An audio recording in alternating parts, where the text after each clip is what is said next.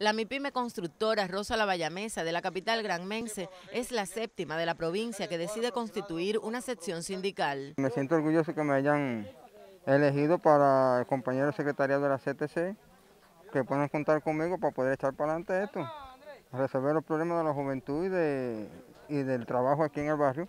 La nueva empresa privada está creada desde el año 2020 y se dedica a producir materiales para la construcción. Tiene 65 trabajadores este, el objeto social mío es la, construcción de material.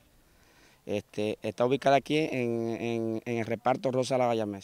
Gracias a la MIPYME he visto que tengo más posibilidades de, contratar con otras empresas, porque antes estaba limitado a muchas cosas, hacer contratos con cemento directamente, a, muchas, ahora, ahora puedo hacer contratos con cualquier empresa.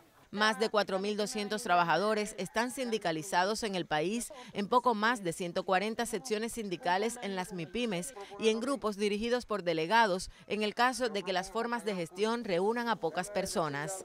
Una importante decisión que les permite estar agrupados de manera voluntaria en la central de trabajadores donde pueden tramitar sus preocupaciones según establecen las normas jurídicas. Desde Granma, Lisette Márquez, Sistema Informativo de la Televisión Cubana.